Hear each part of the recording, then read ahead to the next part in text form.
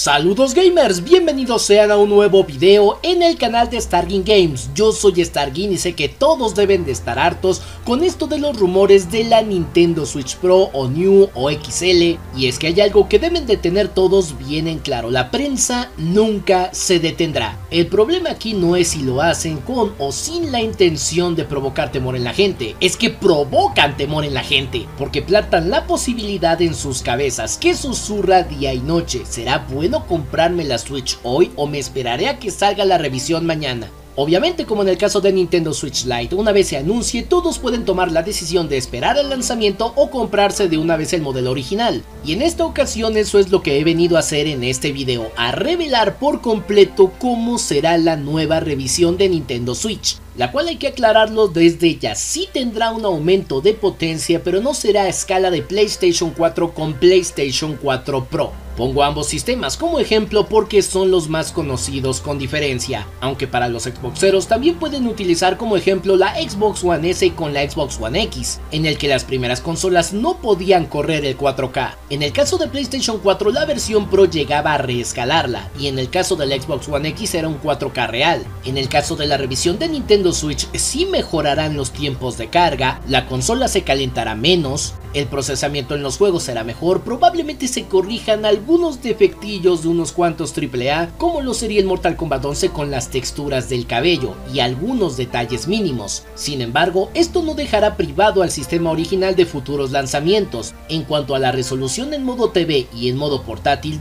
dudo mucho que escale al máximo estándar de los 1080p, pero sí que tendrá un mayor rendimiento. Por ejemplo, podría llegar no a utilizarse tanto la resolución dinámica y tener una más estable, así como los FPS, menor consumo de la batería, por lo tanto más horas de juego en modo portátil y mayor capacidad en la memoria interna. ¿Cómo sé esto? Nintendo no ha dado ningún comunicado oficial, pero me pasaron un artículo muy interesante que se publicó a inicios de año, en el que se referían al nuevo modelo portátil de Nintendo Switch como Lite cuando la gran mayoría estábamos centrados en llamarle Mini. Las características de dicha portátil en la filtración de enero fueron señaladas con precisión. Respecto a la revisión de Nintendo Switch tenemos datos interesantes, les dejaré dicho artículo en la descripción del video o como comentario fijado o de ambas maneras para que lo chequen al revés y al derecho. Según el Dr. Serkan Toto de la firma Cantan Games, y cito, la Nintendo Switch Pro será lanzada como una versión mejorada de la original. No tenemos información sobre las novedades que podría traer, pero Nintendo Switch lleva poco tiempo en el mercado, así que debería de mantener una compatibilidad plena con aquella, y esto implica que los cambios a nivel de hardware no serían muy marcados. Con esto en mente me atrevo a pensar que esa Nintendo Switch Pro podría ser una versión con pequeños ajustes a nivel de la CPU, pantalla y RAM que permitan un leve aumento en la resolución de los juegos y poco más, es decir, una evolución similar en concepto a lo que supuso PlayStation 4 Pro, pero con un salto menos importante. Su precio sería superior al de la versión estándar obviamente.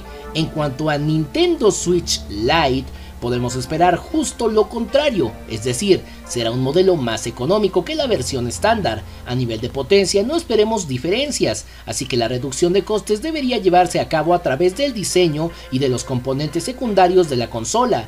Sí, esto se podría comparar por ejemplo con el cambio que marcó PlayStation 4 Slim frente a PlayStation 4. Estos son datos del 3 de enero, sin duda Cercantoto tenía información privilegiada, con esto en mente, escuchemos las peculiaridades que un data miner llamado Mick Heskin ha encontrado desde la actualización 5.0 de Nintendo Switch. En el firmware existe soporte para tres líneas distintas, una con el Tegra 210 original y otras dos con el Tegra 214. Dicho procesador iría encaminado a los modelos Lite y a la revisión. En el modelo original tenemos 4 GB de RAM y 6 GB para los kits de desarrollo, mientras que los nuevos modelos tienen soporte para 4 GB, esa sería la Nintendo Switch Lite y 8 para la revisión.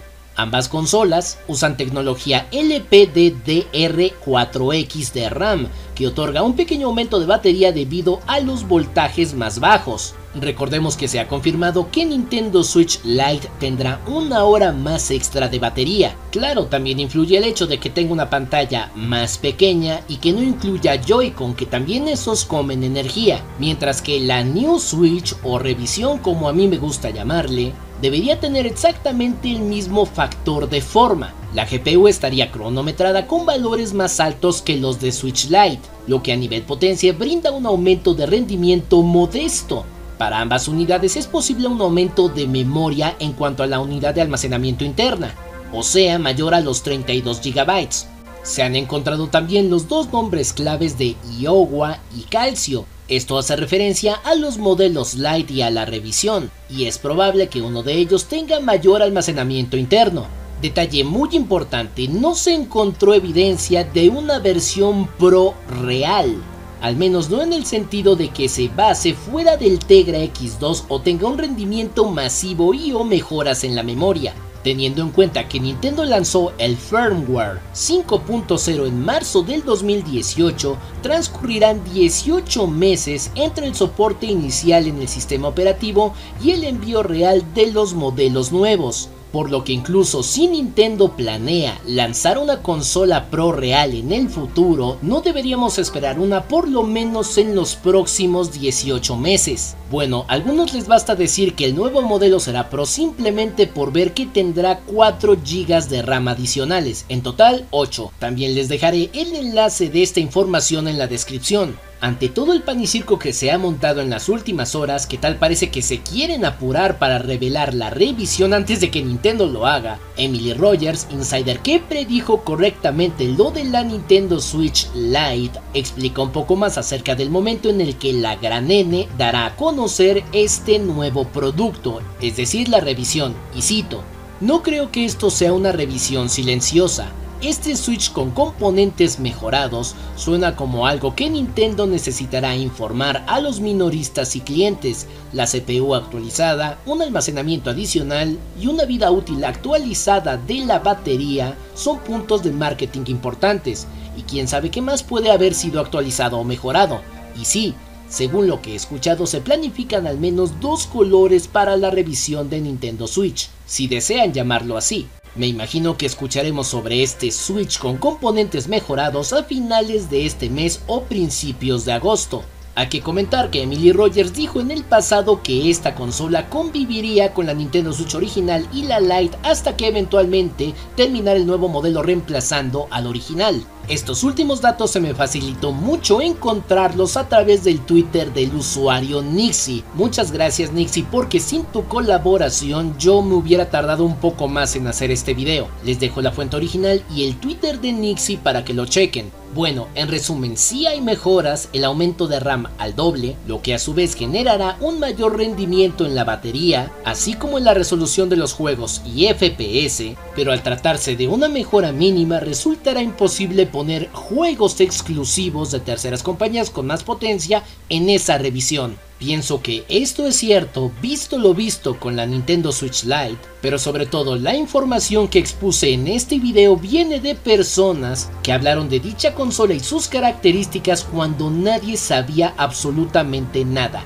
Y por eso para mí se han ganado un gran nivel de credibilidad, en lo que todavía tengo mis reservas es en la fecha de lanzamiento del menester. La gran N tal vez pretenda lanzarla este año, a pesar de que Doc Bowser, presidente de Nintendo América, haya dicho que el único hardware nuevo que veríamos estas navidades sería Switch Lite, puesto que en el pasado se le ha preguntado a todos los ejecutivos y ellos han dicho que se centran en el modelo insignia, o bien no lo lanzan pero si lo anuncian, tal vez para enero, tal vez para marzo. Eso ya depende completamente de Nintendo, pero lo que sí es seguro es que una revisión está en camino y que dicho modelo a pesar de sus mejoras no sobresaldrá tanto en potencia, probablemente se quede al nivel de una Xbox One normal, mientras que la consola insignia está ligeramente por debajo de esta, al menos así me imagino que será en términos simples la nueva revisión. Espero que esto haya aclarado todas sus dudas y con este material ya se hayan decidido a comprar la versión insignia, la Lite o la consola mejorada, que por cierto dice Emily Rogers que su precio será parecido al de la Switch original.